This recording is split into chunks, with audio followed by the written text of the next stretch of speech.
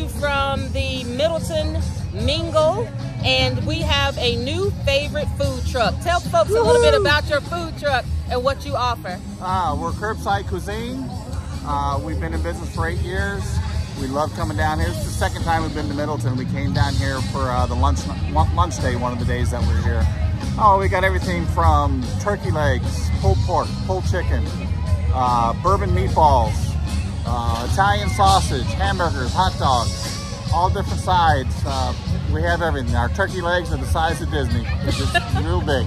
Yeah. And I just had one. You I can vouch for that. Yeah, yeah. Look, I'm telling you, the menu that he has is the best I've seen of all the food trucks Thank that you. are here in the village. Thank you. So hopefully we'll see them as a staple at all of the events. But for now, tell them your name again.